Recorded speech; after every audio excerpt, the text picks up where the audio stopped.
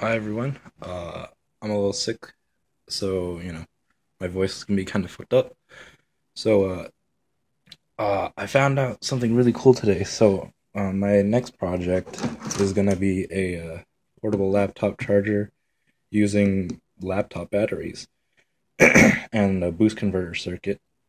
But I wanted to use the original smart uh, balancer and protection circuitry that's built into the laptop battery so I have some Dell uh, batteries, brand new, uh, BC06, and um, I'm interfacing the SMB I squared C bus uh, with the Arduino. And uh, there's a lot of projects out there, and it's uh, the uh, the command hex, the hex commands are uh, well documented. So I had to modify the code a little bit because it wasn't quite working, but I was successful.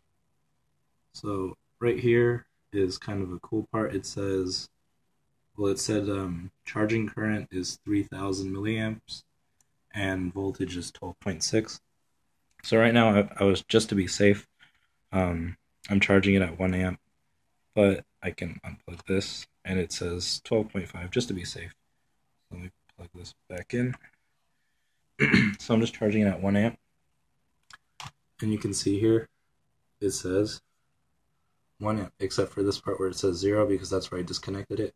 So right now the charge percentage has actually moved up 47. Uh, so it was at 47%, now it's at 50%. And we can slowly see the pack voltage going up. Um, when I was adjusting the current, the current was changing as well. So it, uh, it does for the current, it's the absolute value of whatever's going through. So charging current in and charging or and current output.